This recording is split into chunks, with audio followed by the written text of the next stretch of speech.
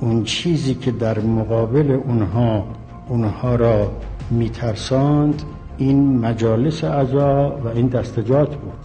در دفعه اول که منو از قوم گرفتند و بردند در بین راه این بعضی از این معمورینی که بودن در اون اتومبیل من می‌گفت که ما که آمدیم سراغ شما از این چادرهایی که در قم بود میترسیدیم که نبادا اینا مطلع بشند و ما نتوانیم انجام وظیفه بدیم.